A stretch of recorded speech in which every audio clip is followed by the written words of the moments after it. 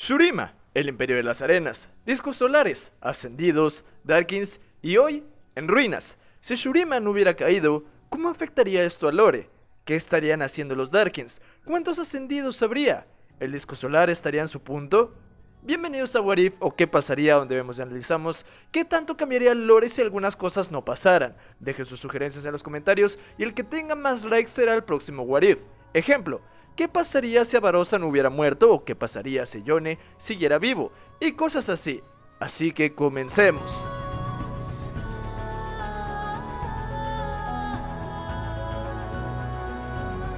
El Imperio Surimano fue alguna vez una civilización que abarcó un continente entero, forjada hace unos 5000 años por los poderosos dioses guerreros ascendidos, unificó a todos los pueblos del sur e impuso una paz duradera.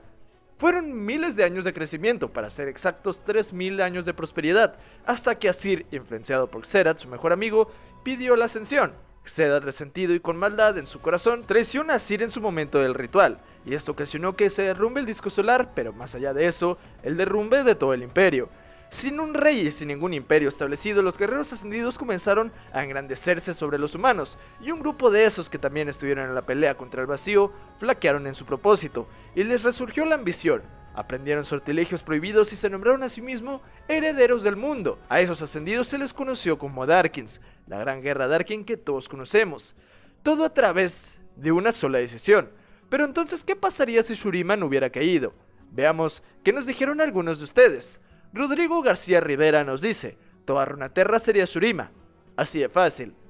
Mr. Mermelada X nos dice, Renekton y Nasu serían felices, los Darkin no existirían y supongo que Xerath sería alguien libre. Shirao Fantasy 21 nos dice, me imagino una expansión masiva de Shurima lo que provocaría que las guerras comenzaran al igual que guerras civiles, ya sea ascendidos o de las personas normales de Shurima. Pues ya también imagino una guerra super épica entre ascendidos y los aspectos de Targón. Para empezar, para que esto no suceda, para que el imperio no hubiera caído, el motivo podría ser dos cosas. Que Asir siguiera como emperador humano o que Xerath, su mejor amigo, no lo traicionara en su momento de ascensión. El disco shurimano no hubiera caído. Xerath no se hubiera transformado en un ascendido Bakai. Seguiría siendo un humano, pero ahora sería libre, ya que no habría esclavitud en Shurima. Asir no hubiera muerto y se hubiera transformado en el Asir que todos conocemos. Nasus y Renekton no estarían peleados y seguirían al mando de Asir los Darkin no hubieran existido. Atrox, Varus y Rast seguirían siendo parte de la hueste de ascendidos shurimanos. Al no existir los Darkin, las guerras Darkin tampoco hubieran sucedido. Eso quiere decir que en un futuro, Trindamer y su tribu no serían atacados por Atrox. Por consecuente, estos bárbaros no tendrían sus poderes mágicos. Trinda sería otro bárbaro más, no buscarían la ayuda de Ash. Y por lo tanto, el amor entre Ash y Trindamer jamás existiría. El aspecto de la guerra seguiría vivo, muy probablemente portando el cuerpo de Atreus. Al no existir Atrox como Darkin quien lo mate, Atreus como tal sería capturado en su propio cuerpo siendo el aspecto quien lo maneje todo el tiempo. Sin Darkins también, Vladimir no hubiera estudiado la magia Darkin. Surima era un imperio expansionista, lo de Katia y el vacío seguiría igual porque todo eso fue antes de la caída del imperio, el vacío seguiría abierto y Katia estaría en el olvido, pero Surima se expandiría cada vez más por todos los continentes. Se puede decir que tomaría lo que es el paso entre el continente surimano y Valoran, o sea, Piltover y Sound. Serían ciudades surimanas. No olvidemos que Sound antes lo era, era Ostrava Sound, ciudad importante surimana. Entonces todo lo que conocemos de Piltover y estas estaría fuera del canon. No existiría.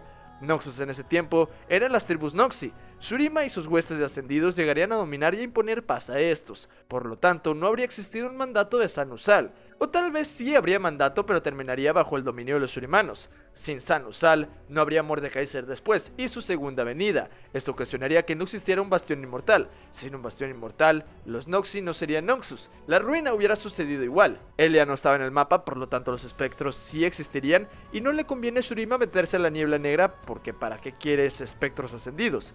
Las guerras rúnicas tampoco hubieran pasado como las conocemos. Tras la caída de Elia, los secretos de las runas salen a la luz. Shurima muy probablemente tomaría ese poder, porque ellos eran los dominantes.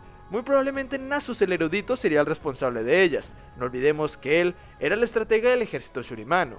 El Freljord no sería dominado por Shurima. Aparte de contar con clima muy diferente, el Freljord tiene Lysandra, Orn, Anibe y Bolívar.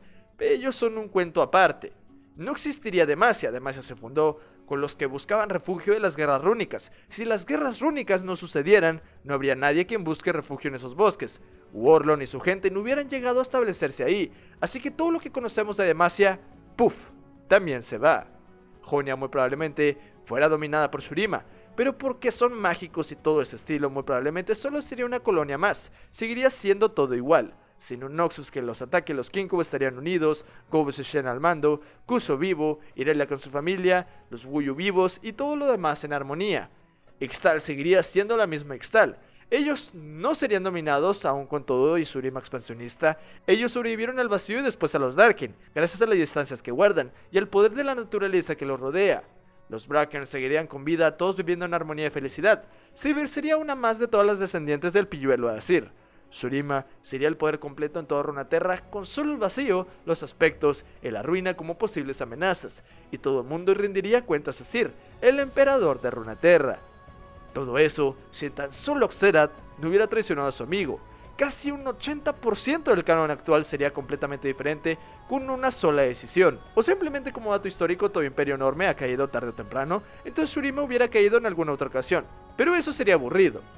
Así que ese fue mi qué hubiera pasado, ese fue mi análisis de What If si Shurima no hubiera caído. Dime, ¿tú qué crees que hubiera pasado después de ver todo este análisis? ¿Te gustó?